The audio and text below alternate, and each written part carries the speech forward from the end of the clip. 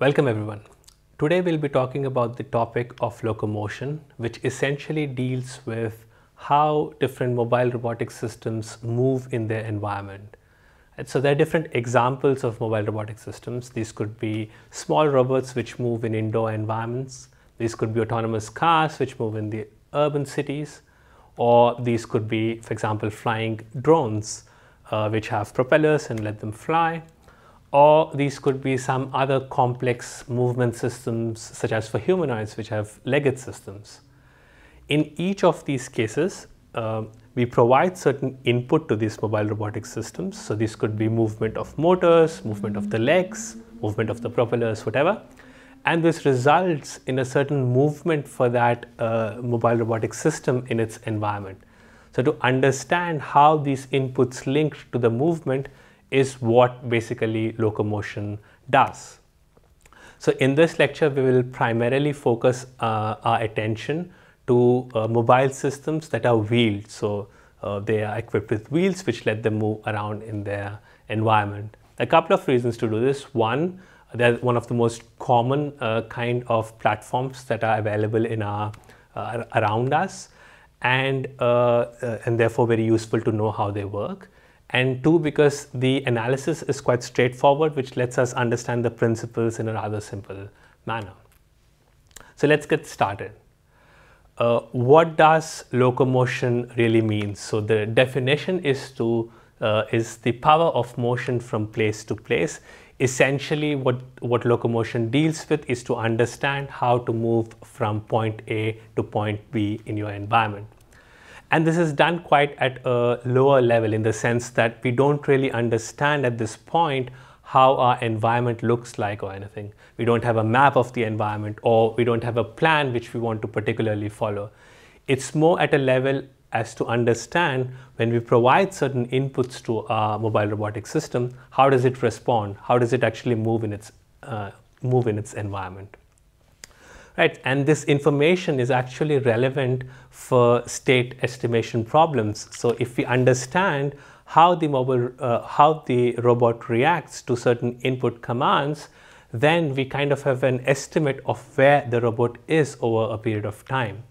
This information, so this locomotion information, can then be fused with information coming from other sensors, some other external sensors. This could be, say, a GPS sensor if we are outside, or these could be a laser scanner which gives us some motion of how we moved. And so these, uh, this information can then be fused together in order to estimate the pose of our system. So these are some techniques that we'll see in other parts of the course, but basically the idea of locomotion fits in there in order to have an estimate of how the platform has moved. So uh, in this lecture, since we limit ourselves to wheeled robots, there are three or four types of wheeled robots which are quite common and they are listed here. They're also called as drives. So we'll spend quite a bit of time understanding uh, what is called as the differential drive. Essentially, these are, are robots, typically indoor robots, which have a couple of wheels on them and each of these wheels has a motor attached to them which rotates these motors uh, and lets them move around in their environment. We'll, uh, we'll see in detail how, uh, how the motion is evolved and how we can control such, uh, such robots. The other common kind of robot or drive that we have all seen is the Ackermann drive or the car drive. Essentially in these vehicles you have the back wheels which are fixed and we have front wheels which can be then steered. And in this way, we are able to track a certain path or a certain uh, circular arc, for example. Then there are these two other drives which are quite interesting. One is called as the synchronous drive and another which is based on these mecanum wheels. Uh, which are which become quite interesting in uh, confined spaces. So if you have really limited space to make a maneuver, uh, these kind of drives really help us out there. So we'll also look uh, a little bit about how and where these drives can be useful. Okay, so the basis of a wheeled robot is a wheel. So we start at the wheel and the concept is something we're all familiar with. So we have a wheel and there is an axis going through the wheel uh, typically this, uh, this axis or this axle is then connected to a motor which rotates. And for example, here, if the motor rotates in the clockwise direction, we end up with a motion which is uh, in the forward direction. So this is a very simple case in 1D, nothing surprising there. However, uh, if we have multiple wheels, the analysis is not so straightforward. So we want to understand what happens when we stack several of those wheels on a mobile platform and we want to understand what's the resulting motion when we apply different, for example, inputs, different velocities on each of these wheels, how do they then react? Right, so let's uh, see how this works. And to understand basically this motion, there's this concept of instantaneous uh, center of curvature. Essentially what this means is that uh, if we make our whole robotic system move around a certain uh, center of curvature, then we can ensure that the wheels that are attached to this system move smoothly. So basically they roll. When they roll, they move smoothly on the, on the surface instead of skidding around. So what we really want to avoid is that the platforms skid around in the environment as then there, there will be large forces both on the on the floor itself where the robot is moving, but also large uh, forces that are acting on the platform itself. So the idea is to have the wheels always rolling. And one of the ways to actually ensure this rolling is to make sure that all the axes of the wheels are intersecting at a common point. So this is not good. Why? Because for example, if say these are three uh, wheels that are on our platform and there is this axis which passes through the each of these wheels and since each one of these wheels is rotating they do not have a common center and therefore what will happen is one or more of these wheels will be skidding. Instead, if we arrange them in the following uh, manner such that the axes which pass through each of these wheels pass through an instantaneous center of uh, curvature, then they can all move smoothly as one object around that ICC. So there are two ways to look at it. Either we can see them as uh, multiple wheels on the same platform or we could see it as the uh, as the platform at different points of time. And in either case we would want them to move in such a manner that there is always one point around which it's moving along a curve right? And uh, what we want to do what we want to essentially set is we want to control these different wheels. So by spinning them at different rates or by steering them in a particular manner such that uh, we always maintain this one point of rotation. Right, so in order to do this, let's start off with the basic laws of physics which we will use uh, to, to derive these equations and to understand how the platform moves uh, while following a particular arc, for example. So uh, for example, the first law here is, is a very basic one, which says the amount of distance moved s is nothing but the linear velocity of the platform multiplied by the amount of time for which that particular command has been given. So this is a really simple model in the sense that we are also neglecting any accelerations here. So there are no acceleration terms. Essentially, this, uh, this means that we are making the assumption that uh, we can supply a particular velocity to the platform instantaneously. This is typically not the case in real robots. You often require a certain time in order to reach a desired velocity. But it so happens that for controlling robots or for understanding the motion of robots at lower speeds, this is a fair enough assumption. And the next equation that we see here is the angular orientation of our platform. So the yaw angle in this case represented by theta is nothing but the angular velocity of the uh, of the robot omega multiplied by the time for which that particular angular velocity has been applied. And similarly, uh, we also have a relationship between the linear velocity and the angular velocity when a particular platform or any point mass for that matter is following a circular arc. So in this case, uh, the relationship between the linear velocity is nothing but the angular velocity times the radius of curvature of the arc which that particular platform is following. So uh, these equations will be used in order to understand how different drives or different robots actually move in their environments. We start off with the most basic or the most common drive, what is also called as differential drive that you see here. So essentially a differential drive robot has two wheels. So one we see on this side and one on the back side, which we don't see here. But and um, basically each of these wheels is connected to an axle, uh, connected then to a motor which rotates. So what we can do is to move each of these two wheels independently.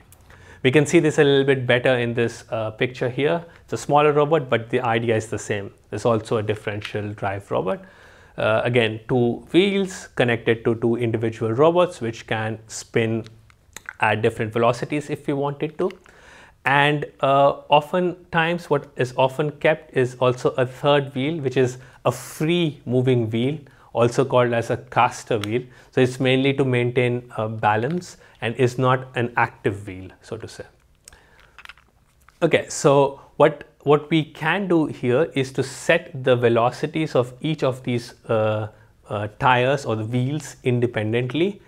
And for example, let's say we want to go straight with this particular robot. The answer is quite simple. We set the same velocities both on let's say the left wheel and the right wheel and this would result in the platform moving in a straightforward manner. The same if we want to move back, just the velocities are reversed and in this way we can move back. However, if we want to move along a curve, this changes slightly. So if you think of it, if you want to make a curve like this, uh, the wheel which is on the left, which is actually also in this case an inner wheel, it's towards the curve, has to travel a distance which is less than the distance that the outer wheel has to travel. And so since the outer wheel has to travel a larger distance when it's following this particular arc, it needs to spin faster such that overall they don't uh, skid. And, and also if you think in terms of the instantaneous center of curvature that we just introduced, by construction these differential drive robots always have an instantaneous center of curvature. For example, since these axes pass through both these um, uh, wheels, essentially the instantaneous center of curvature will lie on that uh, axis. What's also interesting is that these kind of robots can also spin on spot, which is really interesting to have if we have confined spaces. You can imagine that this is not possible for a car or a car-like robot, which also we saw called an Ackermann robot because there you can't really rotate on spot. There's a minimum turning circle that's there which restricts us from making arbitrarily sharp turns, so to say. However, for differential robots, this is quite a nice property. So how this is done is that by rotating the uh, one of the wheels, so let's say the left wheel in say clockwise direction and the other one in anti-clockwise direction, we are able to spin on spot and by switching it we can spin on the other way as well. And so these are quite interesting properties for a differential robot. Uh, let's now uh, put some variables uh, on these robot to understand what are the different terms that we are interested in and so on. So like we said, so we have two velocities, the left and the right. So these are the velocities that can be set as an input to the system. So VL and VR here. And then there is an angular velocity that, uh, that, uh, that exists along, let's say, the center of mass of this robot. And then there's also the width of these uh, robot. We will see why these particular terms are important in order to uh, describe the motion that, that such drives actually follow. Uh, in addition to its xy, for example, position here defined by its center of mass, we are also interested in the orientation of the robot here given by theta.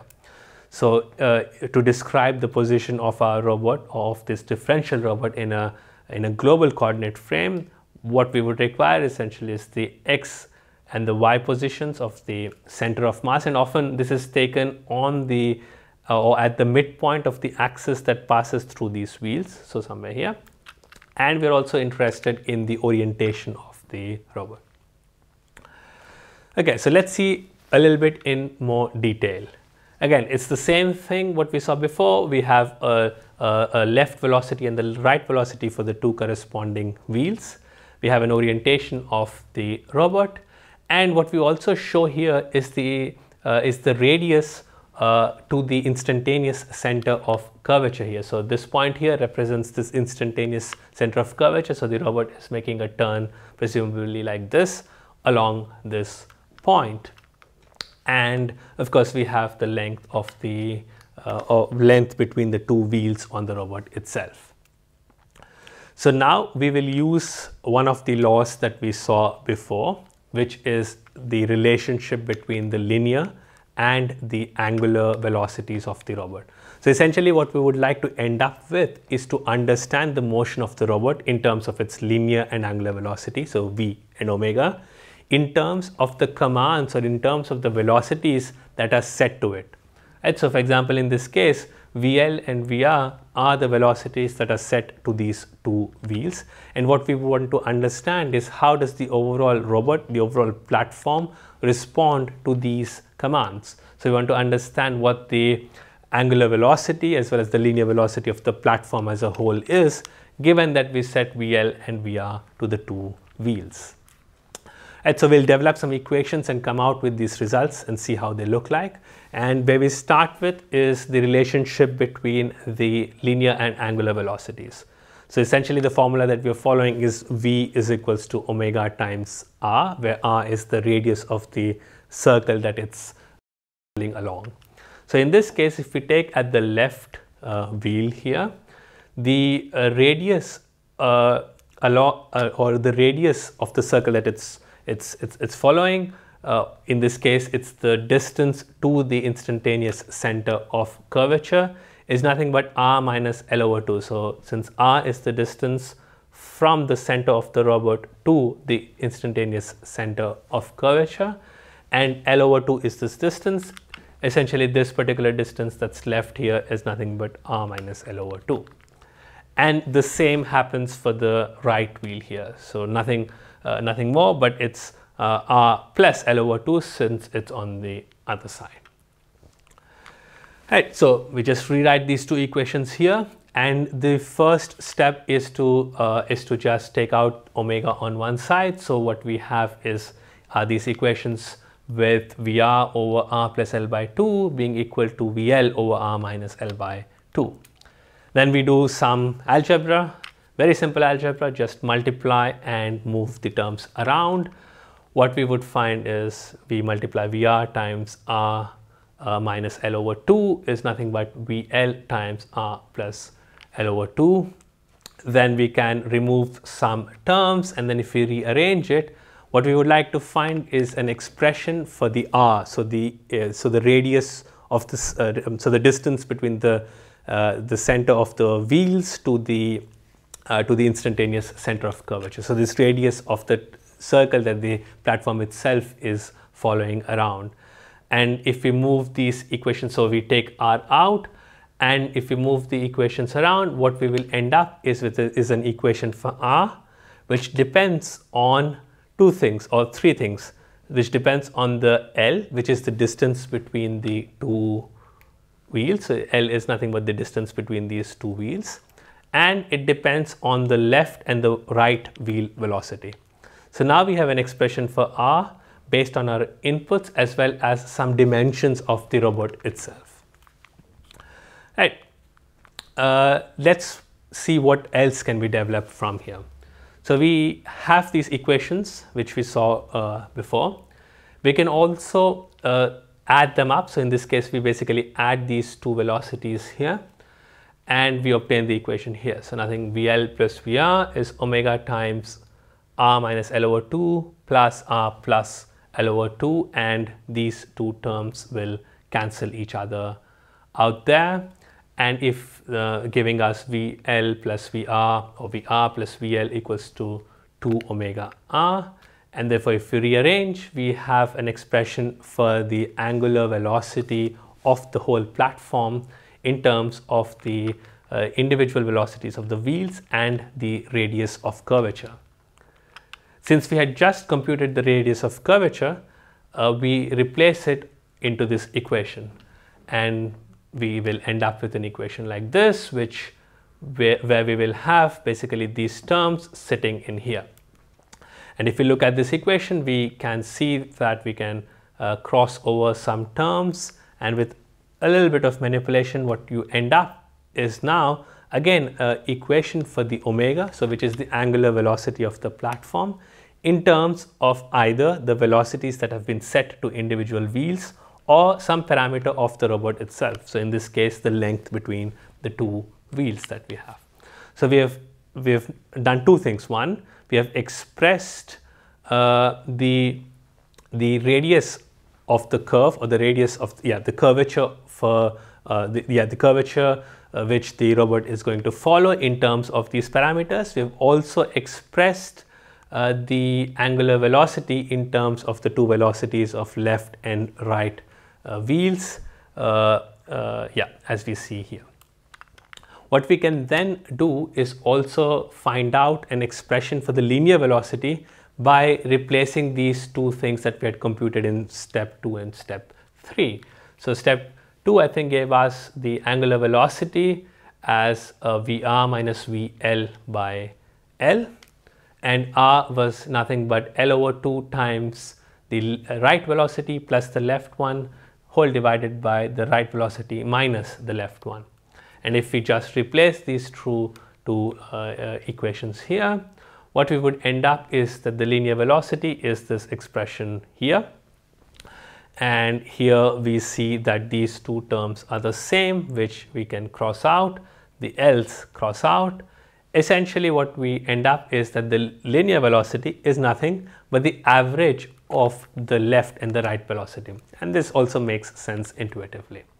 And so what we have now are three things. One, we know what the uh, how the the complete platform moves uh, with respect to the left and the right velocities that we put onto these two wheels. We know what's the angular velocity of the robot is, and we also know the radius of the curve that the, the that this robot travels along. So these are the important terms that we require in order to understand how this differential robot moves when a particular velocity is applied to the left and the right wheels. So with this, we can also compute the coordinates, for example, of the instantaneous center of curvature. Right, so we've had the, uh, the radius, which is given by this particular term here. And then uh, we know that if the position of the robot is set here to x and y, and then some amount of trigonometry, so uh, it, it, makes an angle of theta with the positive x-axis. So essentially this particular uh, coordinate would be nothing but the position of this which is x minus the r times of sinus of that theta would give us this particular coordinate. And similarly to get the y coordinate it would be r cosine of theta which needs to be added to the position of that uh, of that point itself. So what we are now able to express is the coordinates of the uh, instantaneous center of curvature in a global coordinate frame using the radius of curvature that we just computed now. Next, what we are really interested is to infer how the platform is going to move. So for example, we know where the platform is at time t and we want to understand where the platform would be at time t plus 1 and this is also called as forward kinematics. So given the velocities whatever VL and VR to the two, uh, two wheels, where would we end up after one particular time step?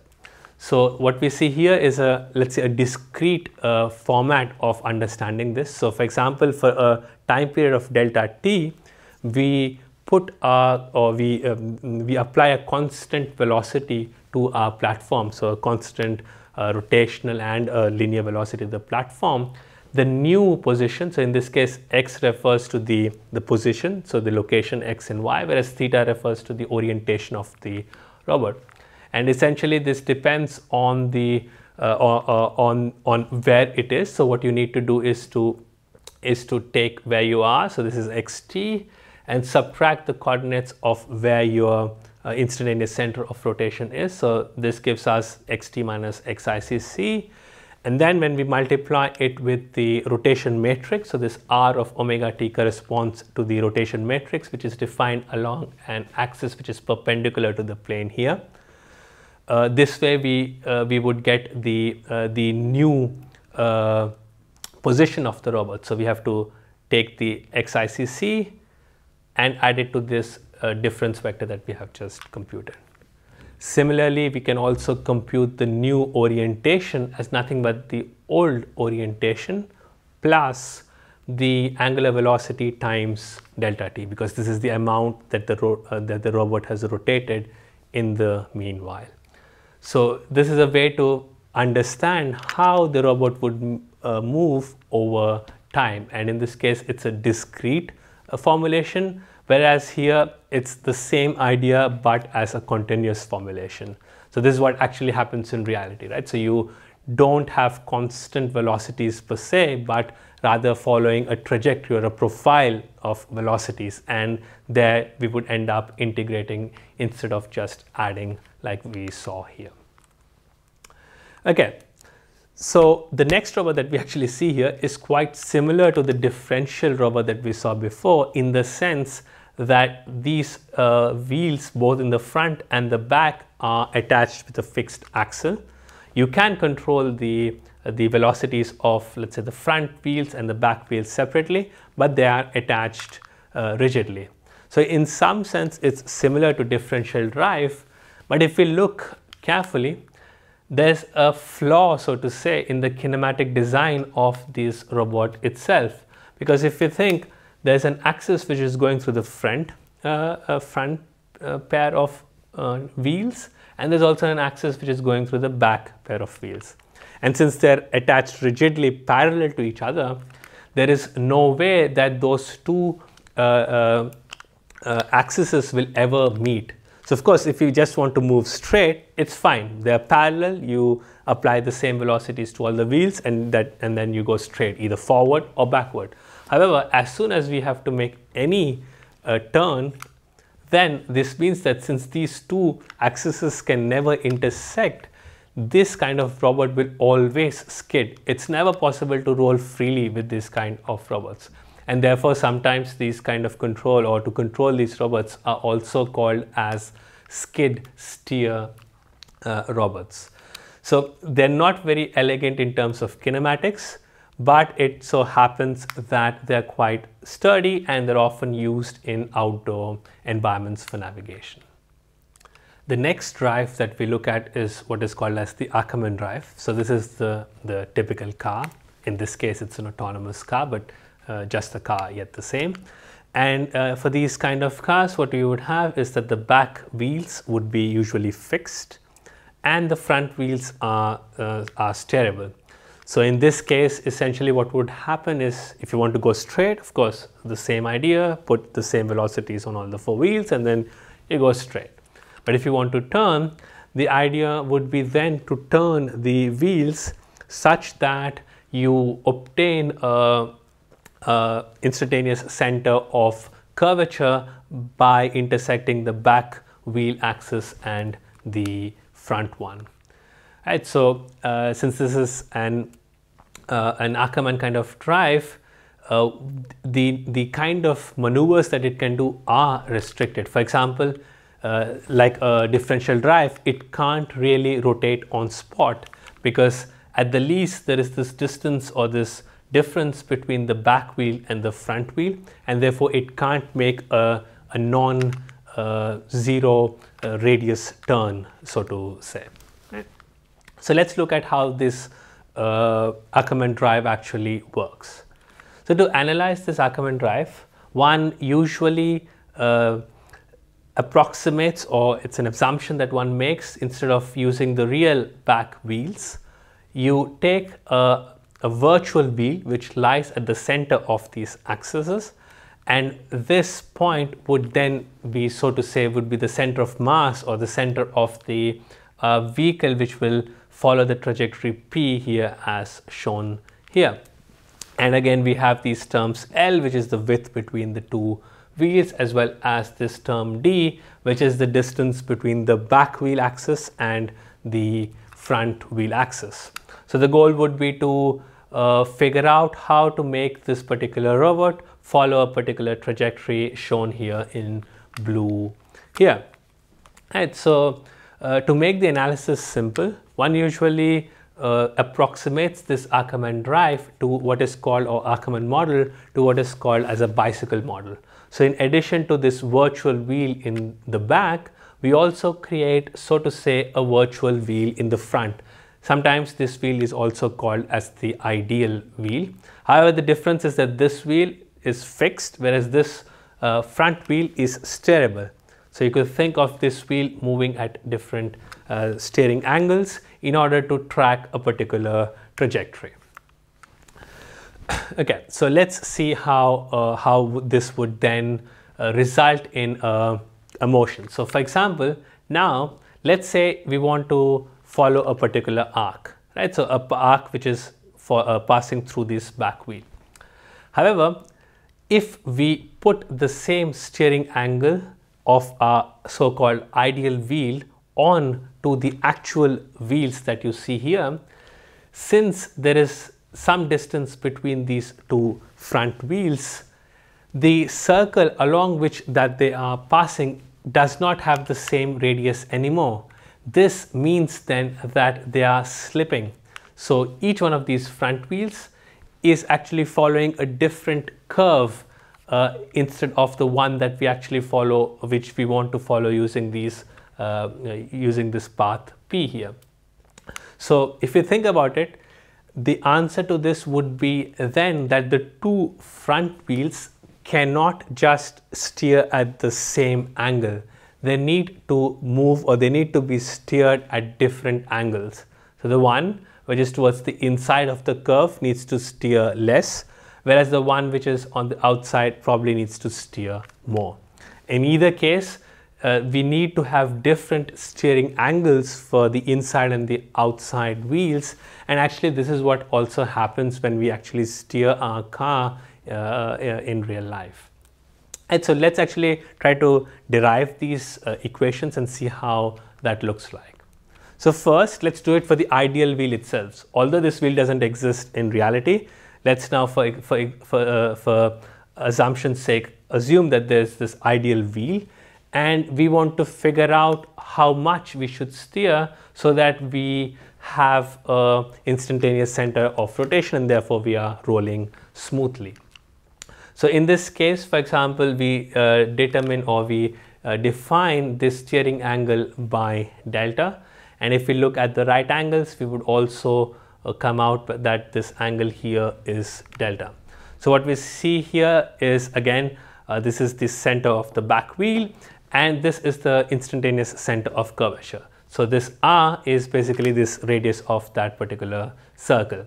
We again have this d which is the length between the two axes and the l which is the width of the uh, of the car itself.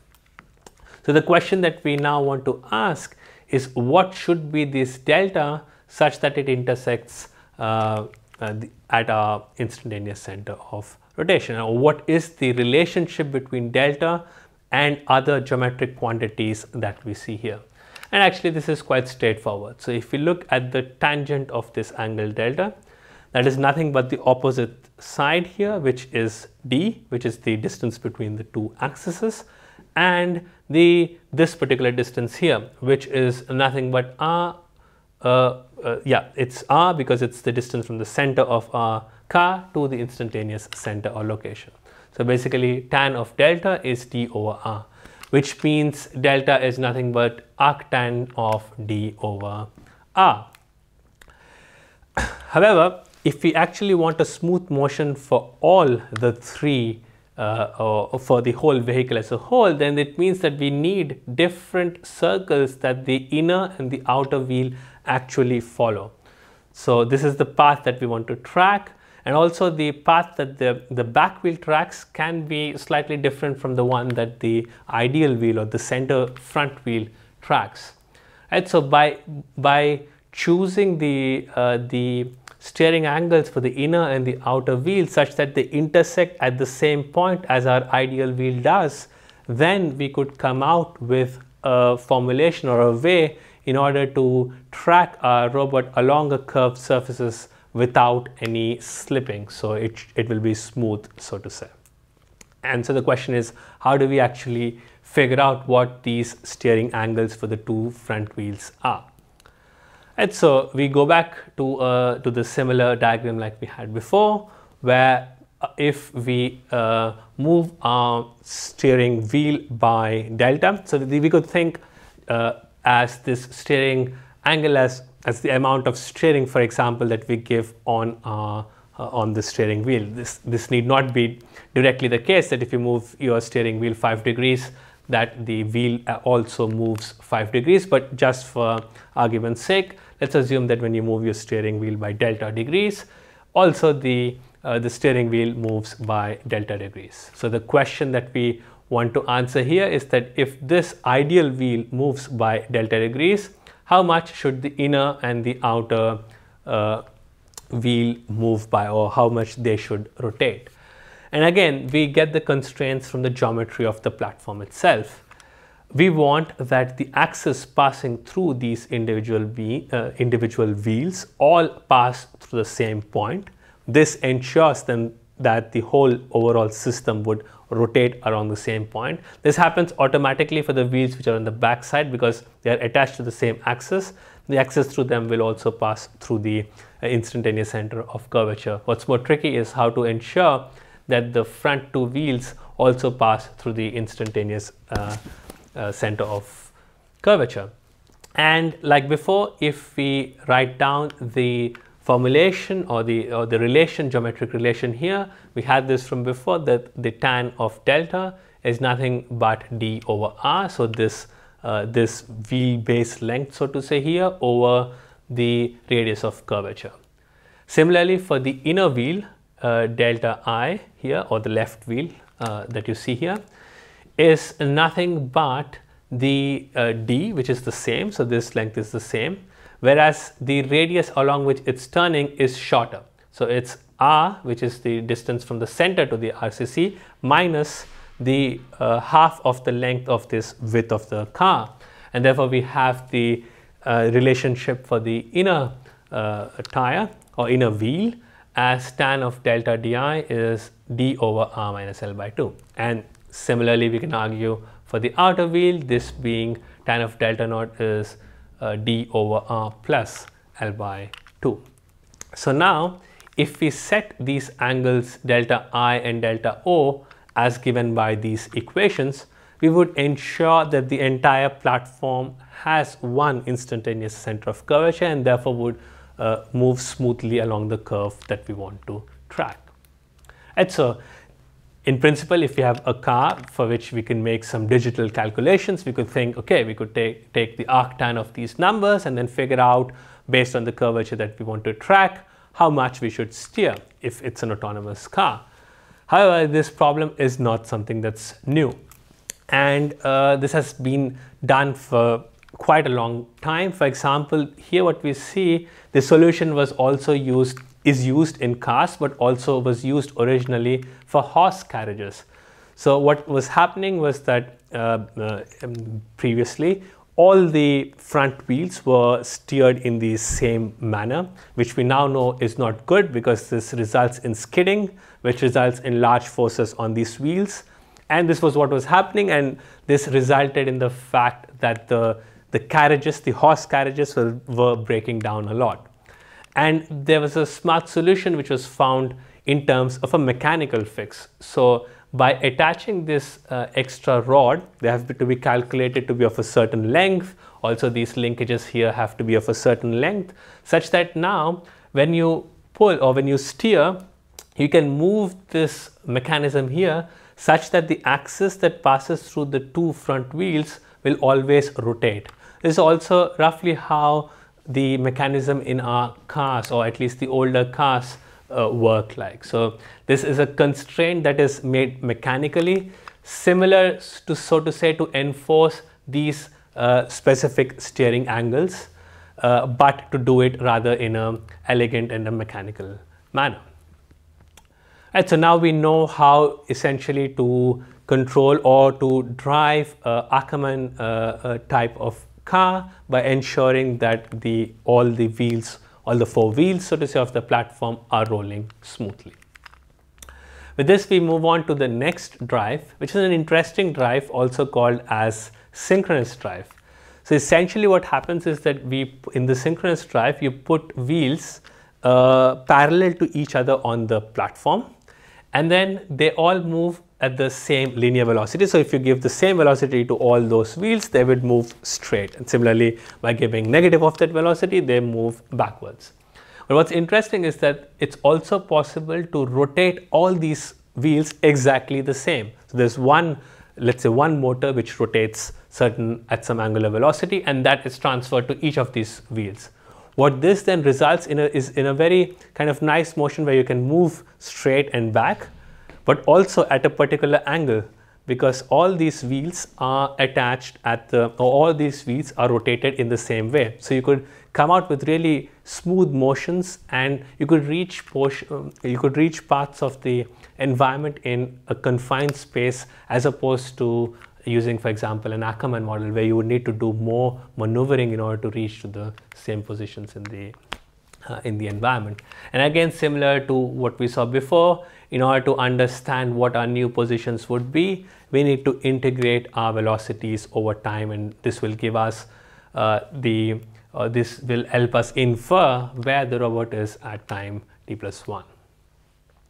Another interesting robot is, uh, or a, drive is uh, this XR4000, what was initially uh, done in XR4000. It's almost like an Ackermann drive in the sense that there are two uh, wheels on the front which can be steered, but also the wheels on the back can be steered. So in this sense, uh, what one does is to have the axis of these front and back wheels intersect at a particular ICC. Then we can ensure that the, uh, that the whole system rotates around the ICC. By moving both the front and the back uh, wheels, this allows to move in tighter circles than is what is possible with uh, drive. So this is really interesting kind of drive which is uh, mainly used in the outdoor environments and this is an example of uh, such a robot. Again, the, for the inference of the next Uh, uh, time so where the, the pose of the robot at the next time instance we do the same. So we have to integrate the velocities over delta t's which would give us the idea of where this robot would end up in at time t plus 1 right so like i said so we want to ensure that the icc so the axis passing through these four wheels end up through or pass through this icc which would ensure a smooth motion so this last mechanism that we see here is really one of the coolest ones. So this is uh, obtained using what are called as mecanum wheels. So essentially these are four uh, uh, motorized wheels with some passive rollers on top of it. So there are wheels on top of wheels. So these rollers are normally uh, put at an angle of 45 degrees on top of these actuated robots, uh, uh, actuated wheels and by rotating these actuated wheels, these rollers then passively, so to say, rotate due to the normal forces and the friction from the ground. And what this allows is to do is to uh, is to make movements, for example, a sideward movement which would be not possible with a, a Ackermann drive or even with a differential drive. So with these kind of robots, you're able to move, for example, side and so on. Uh, so for example, if we look at the uh, equations here, we have basically four motors. So there are four degrees of freedom and we can set the individual velocities on the x, on the y and on the, the rotational velocity by uh, setting these different velocities on the four wheels. So by setting certain velocities for V0, V1, V2, V3, so the wheel 0, 1, 2 and 3, we can obtain a particular velocity in the x direction, similarly in the y direction and an angular velocity. Uh, since we have four motors and only three degrees of freedom, we also have to ensure that this uh, er uh, error vector or this error velocity uh, goes to zero. So let's look at how this uh, motion or how this mechanism looks in practice. So this is a robot, for example, which has these mecanum wheels.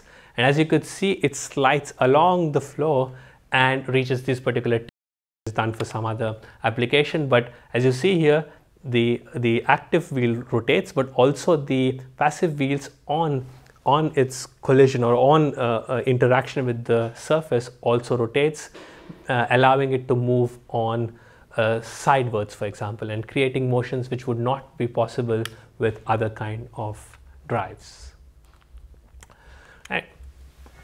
So the next kind of vehicles that we see are what are called as tracked vehicles. In this case, these are almost similar to the skid steer vehicle that we saw, but there's a track around the platform. And these are really interesting for uh, for environments which in which wheels won't do. So you really need to have these kind of tracks in order for example to go up and down rugged surfaces or stairs in this case. As you can imagine this is quite a rough kind of drive. So there is no mechanism per se to to steer these tracks so that you can have a smooth motion you, whenever you turn, they're not the nicest experience, but basically essentially use skid in order to uh, turn similar to the skid steer mechanism. So what we see here is another kind of robots or a kind of motion, in this case a humanoid motion. So uh, we have legged systems. So the, the, the movement or the locomotion for a humanoid system is much more complicated as it first has to figure out in this case where those uh, steps are and then make the movement. So in this case the robot does what is called as a static, statically stable uh, movement. So it moves such that at every point in its movement it's stable. So we as humans typically don't walk like this. We walk in a dynamic way such that we may always be falling. So we are not stable at each point of time but while tracking or while movement we are stable overall. Right, so this is another kind of movement which is not a wheeled based movement but using legged systems. So the main advantage of such systems is that if we want a robot to operate in environments which are already so to say made for humans, you don't want to redesign them for wheeled uh, vehicles. This is the kind of systems that one needs to uh, develop. So something that's more cool, so to say, to look at is this robot called as the uh, Atlas system that's developed by Boston Dynamics. So in this case, what you see here is a dynamic kind of stability. So it's not stable at any one point in time, but overall while making the movements, it's uh, stable. So uh, this is a very complex system with several controllers ensuring that uh, these different motions are being uh, followed. And so it's one of the very few robots which have these capabilities to, uh, to do it.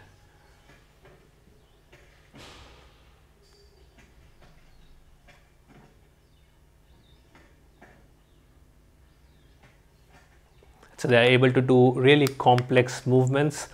This is of course helped by, helped by the specific hardware that they have but also understanding the dynamics or understanding the movement in order to do such uh, complicated uh, tasks in the environment, so to say. Okay.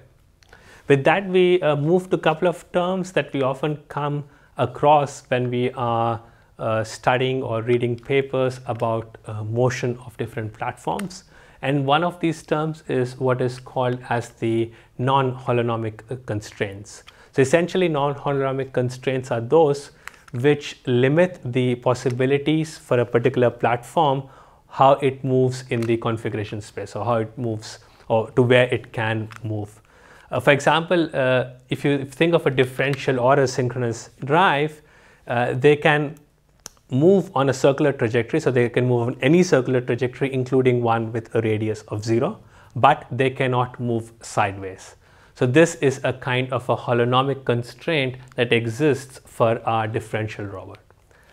However, if we think of the same case when we have a robot which is equipped with mecanum wheels, so the wheels which lets us move sideways as well, it has no uh, holonomic constraints. So there is no place or the, there is no pose, so to say, in the configuration space where we cannot reach.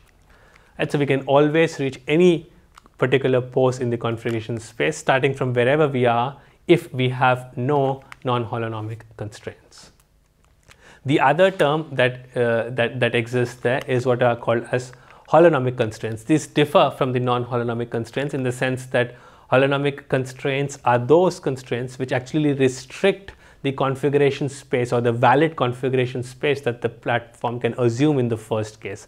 So uh, they, they sound similar, but it's uh, slightly different, the two constraints. So in the non-holonomic constraints, it's that the control space with respect to the current uh, configuration itself is uh, reduced in the sense that, for example, for a differential robot, moving sideways is not possible due to the lack of, so to say, the controls or on that particular platform. But whereas holonomic constraints mean those constraints or those parts of the configuration, configuration space that are not reachable at all irrespective of our controls itself. So for example, if you think of a system which moves on a track, so a train on a track or certain uh, trailer systems where you can attach say to your car a particular trailer in the back and since it's attached with say a link there are certain poses a certain configuration spaces which cannot be reached at all and such uh, constraints are called as holonomic constraints.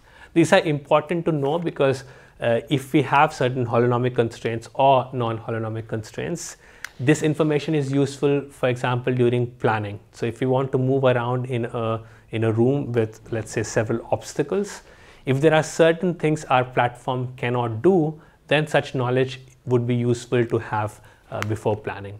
Of course, if we have a platform which has no holonomic constraints or no non-holonomic constraints, that's the best case. This means that the planning problem itself becomes much easier as our platform can essentially do anything that uh, that our planning algorithm requires us to do given that it's a free space.